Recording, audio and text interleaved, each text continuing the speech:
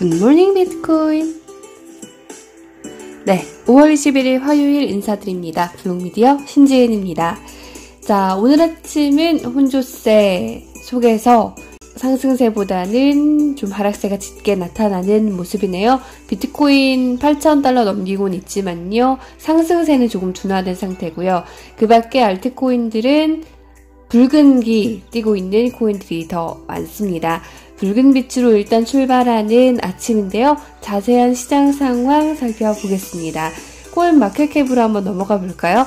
시장 가치는 2,498억 달러 선에서 유지가 되고 있고요. 비트코인 점유율 57.1%입니다.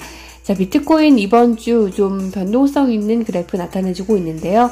자, 한번 하락을 한 뒤 반등을 하고 현재는 좀 숨고르기를 이어가고 있는 모습 나타나고 있습니다. 이더리움 같은 경우는요. 자, 계속 7거래일 중반까지는 상승하다가 한번 조정이 온 후에 박스권에서 상승 기회를 탐색하고 있는 모습입니다. 7위의 바이낸스 코인 그래프 나쁘지 않습니다. 자, 한 번 반등에 성공하고 난 후에는 꾸준히 상승세 지속하고 있는 모습인데요. 현재 시장 가치는 7위에 머물고 있습니다. 오늘의 하락장 속에서 어, 바이낸스 코인은 유일하게 또 상승세에 초록불을 켜고 있네요. 대시 역시 5.49% 오르면서 상승세 이어나가고 있습니다. 자, 오늘은 거래소의 거래 동향은 어떨지 좀 살펴봐야겠는데요.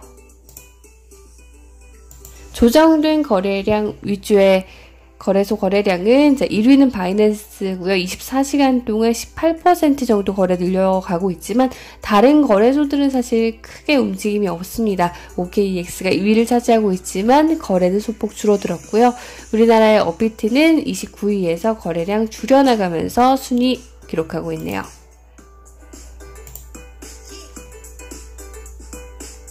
비트코인 비싸면서 1% 오르고 있지만 나머지 알트코인들 분위기는 그다지 좋지 않습니다. 밑에 내려가 보시면 비트토렌토가 10%, 또 벨러토큰이 10% 정도 상승하면서 상승세 돋보이고요. 업비트에서는 자, 오늘 아침에 서버 점검이 있었는데 완료가 됐고 비트코인이 0.79% 하락하고 있습니다. 모스코인 9%, 비트코인은 업비트에서도 11% 상승세 보이고 있고요. 어제 투자 소식이 있었던 코스모 코인 6% 넘게 오르고 있습니다. 세타 퓨엘도 9.18원 기록하면서 20% 넘게 올랐습니다. 자, 오늘 장의 주요 소식 들 가격보다는 오늘은 좀 여러 가지 이야기들에 집중해서 전해드릴 텐데요. 일단 첫 번째 소식은요. 비트코인을 사는 것, 그 중에서도 가장 높은 가격에서 고점에서 사는 것이 아르헨티나 은행에 넣어두는 것보다 낫다라는 그런 주장이 나왔습니다. 아르헨티나 주민들이 2017년 역사상 가장 큰 거품의 가장 높은 지점에서 비트코인을 구입했다 하더라도 아르헨티나 은행에 자금을 남겨두는 것보다 더 나았을 것이라고 조수산 마틴이라는 사람이 밝혔는데요. 이달 초 암호화폐 트레이더 마티아스도 비트코인이 아르헨티나 페소보다 더 큰 가치를 기록했다라고 지적을 한 바 있습니다. 현재 남미 국가들은 극도로 높은 인플레이션에 시달리고 있잖아요. 페소화에는 가치의 저장 수단으로서의 기능이 비트코인보다 없다라는 주장인 거죠. 차라리 바잉 셀린디온 2020 티켓 2020년 셀린디온의 콘서트 티켓을 사는 게 아마 페소화를 사는 것보단 나을 것이다 라는 지적도 나오고 있지만요. 그럼에도 불구하고 아직까지는 기본적인 통과가 필요한 이유는 비트코인이 일상에서 사용되기에는 너무나 테크니컬하다 라는 지적이네요. 그래서 비트코인이 조금 더 활발히 활용되려면 이런 기술적인 한계를 좀 벗어나야 하지 않을까 그런 생각이 듭니다. 자, 오늘 좀 중요한 이슈 JP모건 체이스 애널리스트들이 최근 비트코인의 상승세가 표면적으로 그들이 가진 내재 가치를 넘어서 급등했다라는 주장을 하고 나섰습니다. 5월 20일자로 블룸버그에 실렸는데요. 어, 니콜라스 파니기스글로우가 포함된 것으로 알려진 이 전략가들은 비트코인이 2017년 후반의 상승세를 반영하는 방식으로 최근 거래가 되고 있다라고 판단하면서 지난 며칠 동안 실제 가격은 한계 비용보다 너무 크게 올랐다. 실제 가치와 내재 가치 이런 차이를 보이면서 2017년 말에 상승하는 어, 현상이 나타났고 이건 거품이었다. 그리고 이런 차이는 대부분 가격 인하, 가격 하락에 의해 해결됐다라고 덧붙였습니다. 자, 경고를 하고 나선 건데요. 비트코인 오늘장 그럼에도 어, 코인 360 기준으로는 조금 오르고 있고요. 그리고 코인 마켓캡을 기준으로는 0.56% 하락하면서 큰 움직임은 보이지 않고 있습니다. 그럼에도 분석가들은 어, 작년 겨울에 그 힘든 암담한 하락세는 끝났다고 믿고 있는데 4월 초부터 6주간 비트코인 가격이 상승세를 탔고요. 저항은 분명 있겠지만 그래도 황소가 운전석에 있다라는 것은 조금 명백하다라고 분석을 하고 있지만요.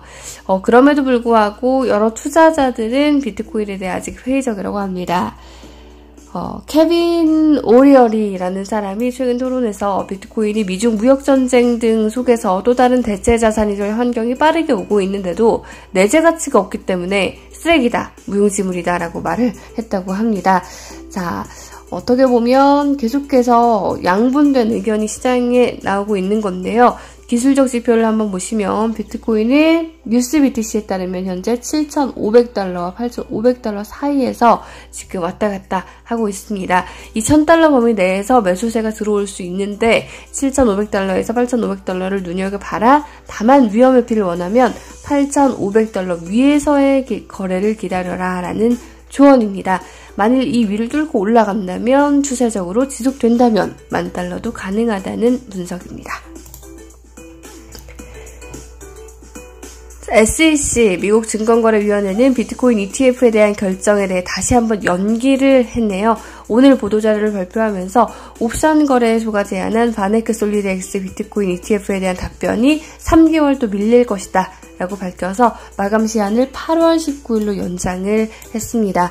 자, 사실 뭐 계속해서 나오고 있는 움직임이라 충격을 받진 않았지만 실망스러운 모습을 감추기는 좀 힘든 것 같아요. 바네크의 디지털 자산 전략 책임자인 골백스는 트위터에 비트코인은 너무 커서 무시할 수 없다. 라면서 우리는 더 안전하고 더 유동적인 디지털 자산 시장을 향한 노력을 계속하고 있다. 라고 남겼네요. 자, 워렌 버핏 투자의 대가라고 불리죠. 워렌 버핏은 정말 한결같이 비트코인을 싫어하나 봅니다. 자, 새로운 암호화폐 대출 리포트가 발표가 됐는데 워렌 버핏은 네, 공매도에 참여하지 않았습니다. 어, 증권회사나 증권금융회사 같은 곳에서 빌린 주식을 팔아서 주식을 빌려서 파는 걸 공매도라고 하는데요. 판 주식의 가격이 하락을 하면 그 주식을 다시 사서 차익만 얻는 그런 투자 방법입니다. 비트코인도 사실 공매도에 많이 활용이 되고 있는데 어, 그 이유는요, 이 제네시스 캐피탈이 빌려주는 역할을 하고 있는데, 어, 분기 보고서를 발표한 결과, 어, 대출이 좀 늘었습니다. 1분기에 4억 2,500만 달러의 신규 대출이 있었는데요. 이렇게 빌려서 공매도에 활용하는 세력들이 있지만, 워렌 버핏, 제이미 다이먼, 그리고 누리엘 루비니 같은 사람들은 이런 움직임에 참여하지 않고 있다라는 그런 기사입니다. 자, 그리고 보통 우리가 주식보다는 비트코인이다 뭐 이런 이야기를 많이들 하는데요. 오늘 CCN에 실린 기사에 따르면 또 이것도 사실이 아닌 것 같아요. 우스터 폴리테크닉 인스티튜트의 드미트리스 쿠트머스 교수라는 분이 시장 리스크와 비트코인 수익률에 대한 논문을 발표했는데요. 이게 제목입니다. 이런 제목의 논문에서 비트코인이 주식의 헤지 수단으로 활용될 수 없다라고 밝혔습니다.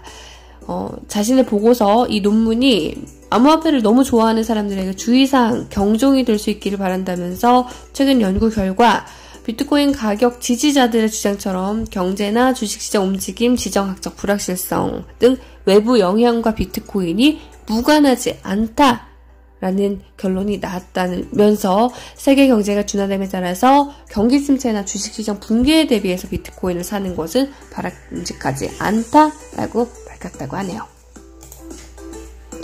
옵션 거래소에서 6월 비트코인 선물 3.56% 오른 8,150선에서 거래가 됐습니다. CME 거래소에서는 12% 급증하면서 8,112선 기록하고 있습니다. 오늘 가격은 좀 지지부진하지만요. 선물 가격은 오르고 있습니다. 자, 이렇게 혼조세를 보이고 있는 오늘 아침 시장과 주요 뉴스들을 살펴봤습니다. 오늘도 3분 뉴스가 이어지니까요. 3분 뉴스까지 많이 시청해 주시고요. 저는 내일 다시 인사드리겠습니다. 시청해 주신 여러분 고맙습니다.